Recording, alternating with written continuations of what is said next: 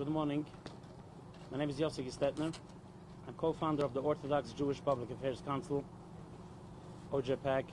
Um, behind me this morning, we have the children of Joseph Neuman, who's still in hospital. Um, this is the home of his youngest daughter, Nicky. He's going to speak in a moment. I just want to just want to express to you how grateful I am on my behalf um, that the press, the media, reporters, journalists who throughout the year you take a lot of flack, uh, bias and stuff, and why doesn't the media cover this or that? You guys have shown up for this community throughout the week.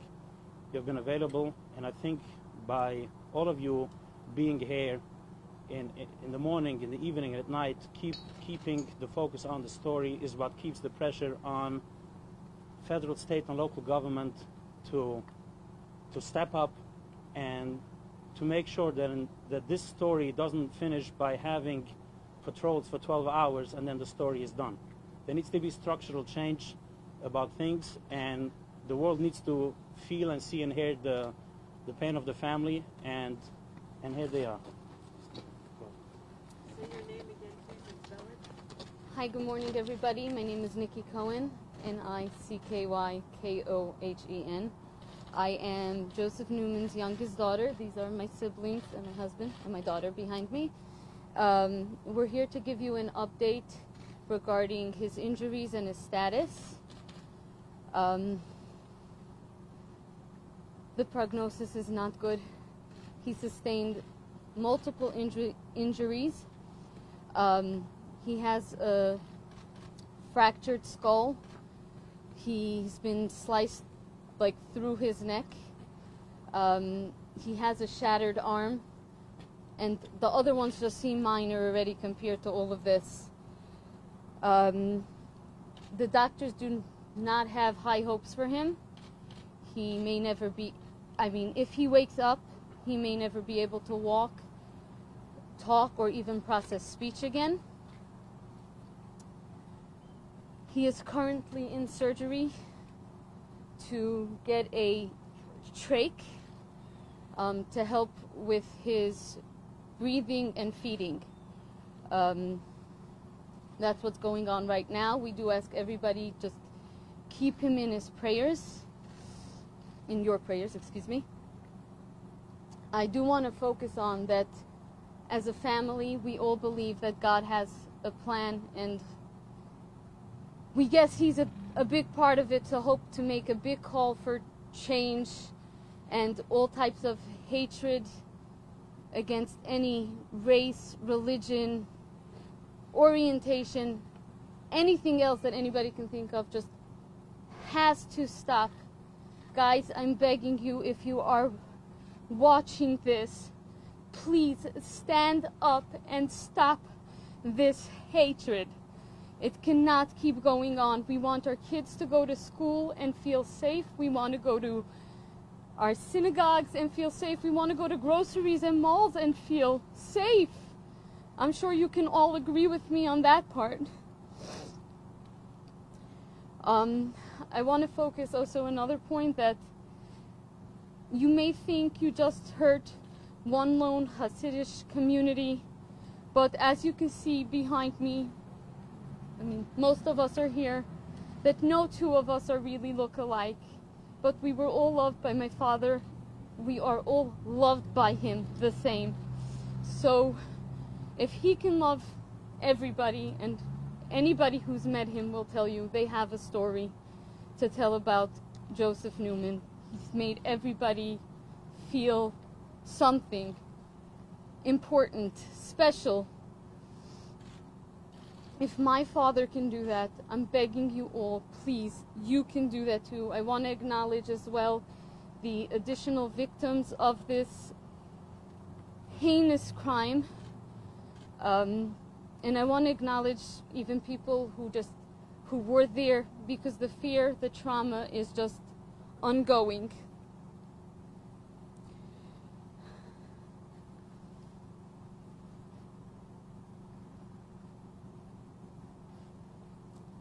Again, we ask that you please keep our father Yehosef Ben Perel in your prayers, and we hope he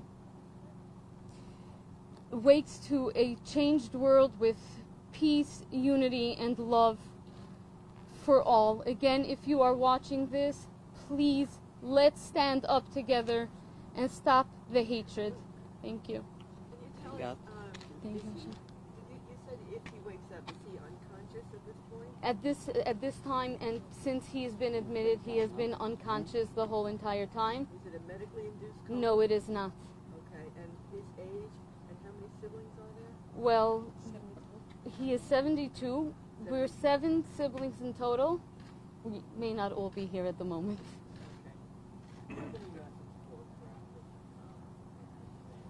I actually want to ask you guys something. If we can take the focus off of him and only focus on the victims and the change that is needed because people are looking for the glory and the fame, and we do not want copycats. We do not want anybody else to think they could go out and be on TV or have any type of publicity this way. Ma'am, tell us a little bit about your father. What's your favorite memory of him and what should people know? about Favorite. We were supposed to have a gathering Oh, yeah. Sunday. We were just supposed to have a gathering for him with, for our Hanukkah celebrations. Unfortunately, obviously, that did not happen. Um, His birthday was Yeah, his birthday was just this week on the 30th. Um, favorite memory. Oy, there, so many different ones. Um, What type of guy is he? What, what's his favorite he thing would stop on the road. he's a people person. He likes people. He likes to talk to people. He likes to get to know people. He would stop for people and help them no matter what they looked like. Um, Uh? Well, growing up, well, when I was growing up, he had a fish store here in Rockland County. Um, and we actually used to deliver a lot of fish, and we would go to the fish market with him, like early in the morning, like 3 a.m. Um, spend some quality time with him. And um, actually, one time as we were driving back from the fish um, market, um, there was a guy stopped at the side of the road. Um, um, and my father saw that he needed help. My father got out. The guy needed help. He was just there. He even drove him to his house for some reason. I think, if I recall correctly, I was really young. He needed to get him to his ex-wife's house so that he wouldn't lose custody of his children or something like that. So just an all-around fabulous guy. I mean, anybody who has met him will have a story to tell you that he's a good guy. He's fun. He's funny.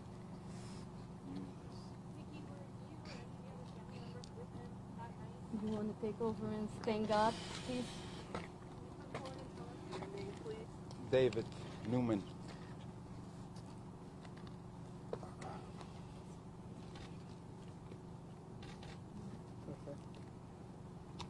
It's very hard for me. I'm there every week on Saturday night. Most of the time with one of my kids or two of my kids and a few of her kids.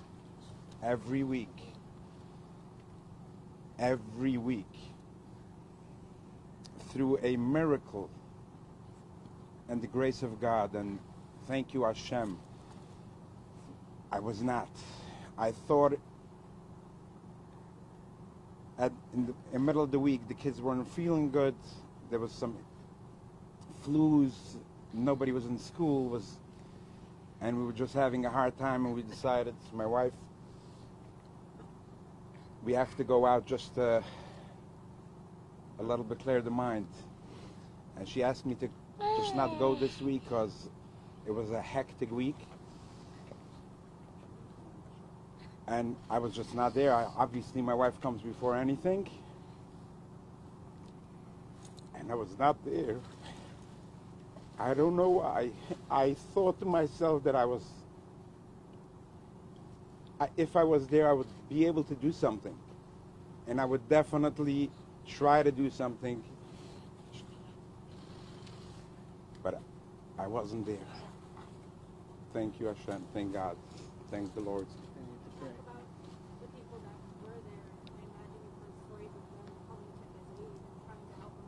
Yes, and I've, I'm pretty sure you heard uh, most of it from um, Joseph Gluck. I see him there almost every week. Um, very nice fella. Him and his brother-in-law, they ran away. Um, and he stayed. Um, I'm, I'm sure you heard everything, so I'm, I don't think I have anything to add, but thank you, Joseph.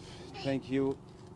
Um, he knows I've, I've thanked him a lot. Do you have a memory of your dad that you'd like to share? As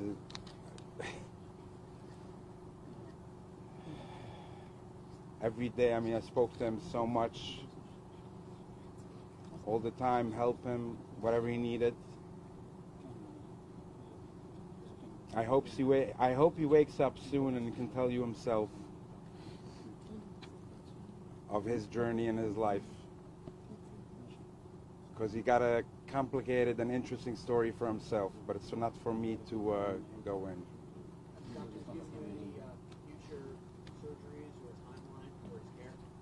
All I know is they're not very hopeful, and we don't care about that. We know God is here, and that's the only um, thing that we, we can pray to. But they are, my understanding, they're not very optimistic at this time. Sir, he's at Westchester Medical Center, Correct. and is he in what they would call intensive care? Yeah. Yeah. Can you talk a little about uh, the release of the photo and why in White House so important for you? Um, yeah so she'll, she'll, uh, Um, as a family, we felt that it was, I mean, this was a very difficult decision to us, but we did release that photo because the hundreds of messages that I personally have received asking, Is your father okay yet? Is he awake? How's he doing? We started realizing people did not understand the severity of this attack. Um, when people ask, is he awake yet? Is he talking to you guys? And all I want to do is yell, Do you understand that the prognosis right now is that he really may never ever speak again? Or wake up or walk or they they just don't have hope as a family. We do have hope. Um, So we did decide to release that photo after much thought so that people can realize how severe this attack was. Any other question? Nicky, is your, is your mother still with us? Our mother is alive, our parents have divorced a long time ago.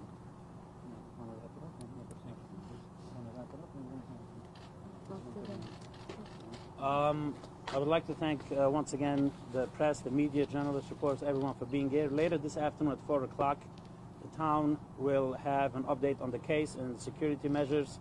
Um, uh, and also, uh, hopefully, there will be a meeting between some family members and elected officials to give an update on what will actually change going forward.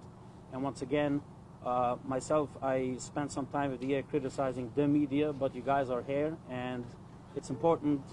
Uh, you are part of the story by, by, by being out here every day and keeping uh, government on its toes to do the right thing. Thank you all very much for being here today. And, huh? Yeah, you wanna- you can zoom. The organization you represent Thank again. all of Yeah, I'm I'm co-founder of OJPAC, OJPAC, the Orthodox Jewish Public Affairs Council. Our mission is to fight bigotry and hatred against Orthodox Jews. I just want to uh, relay a message from the family. Two points that they do want to uh, thank the first responders who were there within literally seconds. The response was very strong. Multiple agencies, EMS, law enforcement, and also the other point which the family has uh, stressed to me, um, especially for Moshe is and, and Nicky, to eradicate all hate. We are members of the Orthodox Jewish community. I am Hasidic. Joseph is Hasidic. The Hasidic community comes in many forms and many colors and many and and and and hatred, sadly, comes in many in many forms, and all of that needs to be uh, needs to be fought, no matter from where it comes, no matter who the target is. Thank you all for coming out. Bathroom with the music?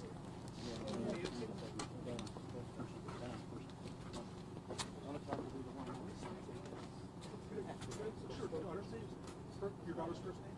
My daughter, T-E-L-I-S. And how old is she? She's one year old.